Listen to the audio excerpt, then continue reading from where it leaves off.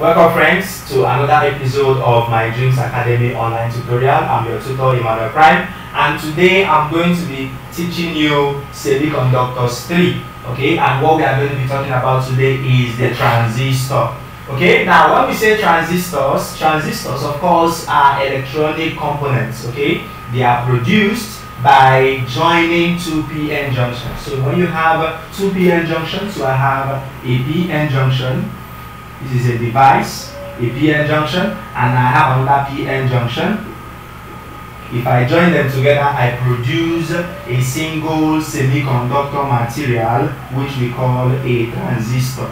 Okay? Which we call a transistor. And of course, from what I have drawn, you see that we can have two configurations for this. Okay? I can have another configuration so that I will have N on this side and I will have P at the center and I will also have N on this side. So we have two configurations for this diagram. Okay, now, so that is what transistors are all about. So transistors are all around us. Our mobile phones make use of transistors, the microprocessors in our laptops, and then so many devices we make use of are all made up of transistors. Okay, now from this diagram, we have two types of um, transistors.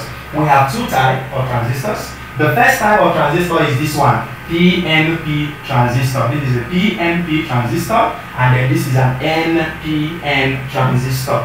Okay, so and a transistor has three terminals as you can see. We have this terminal, we have this terminal and then we have this terminal. Now the terminals of a transistor have their specified names. They have a specific name. So the terminals of this transistor, one side is called the collector this is called the collector. C we represent by C. We have the emitter, which is represented by E. And then we have the base. The base is always at the center. So this side, I can also call it the emitter, call here the collector, and call here the base. Okay? Now, how do we identify the emitter and the collector? Because we said that they can be on either side, but there is a way you can separate them in a circuit diagram or in a question. Now, the emitter always carries an arrow.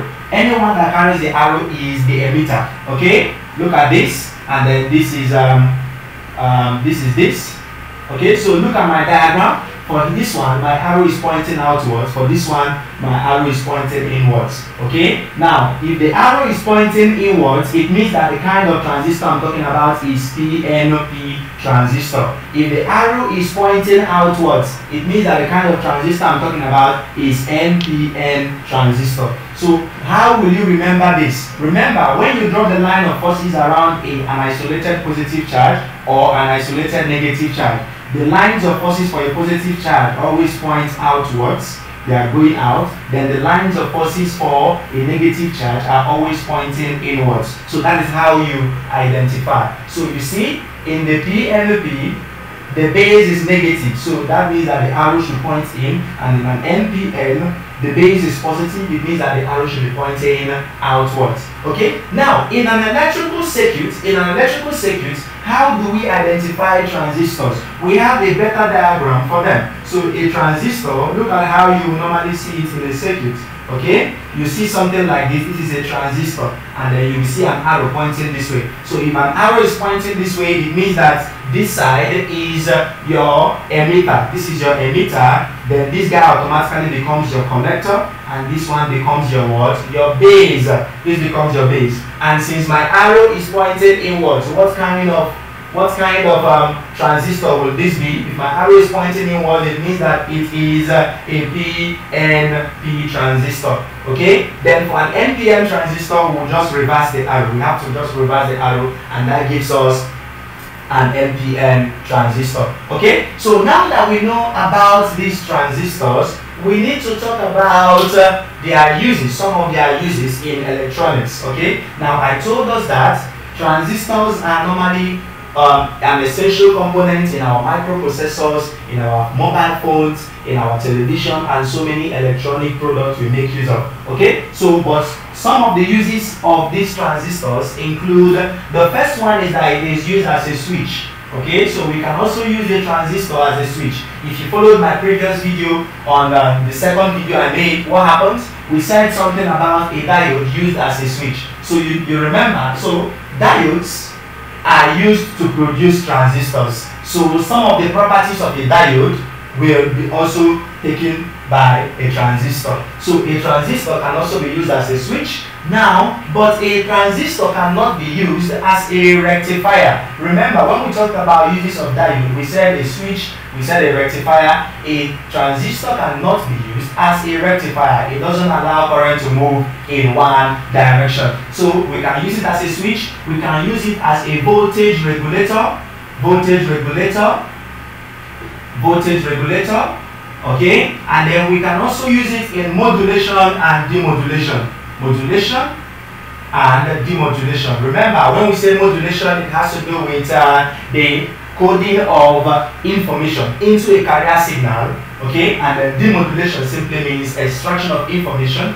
from a carrier signal, okay? Another use of the transistor is what we call amplification okay, in amplification. In fact, this is the major use of the transistor the, in amplification. It can be used for power amplification, it can be used for current amplification, it can be used for voltage amplification, okay? So that is the use of a transistor, okay? Now, for exam purposes, for exam purposes, they are also going to ask you about the VI characteristics of a transistor. The VI characteristics of a transistor. Remember previously I told us that whenever we talk about VI characteristics, it has to do with what? The current versus voltage. So this is the current through the transistor in milliamps and this is the voltage in volts. Okay? Now, and again, if we draw the VI characteristic, we are going to obtain a graph that looks something like this. Something that looks like this. Okay? Now, in this graphical representation of I and V,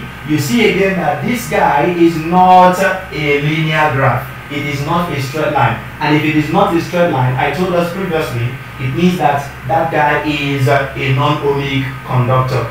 And a non-ohmic conductor simply means a conductor which do not obey Ohm's law. That is what a non-ohmic conductor is. Okay, so the VI characteristics of a transistor, this is how it looks like. So maybe if we want to know more about the transistor, you can look at our previous video so that you can see more things, okay? But these are the most essential things we need to know about the transistor, okay? So thank you very much for staying tuned for this series. Um, I hope to see us next time. Thank you very much.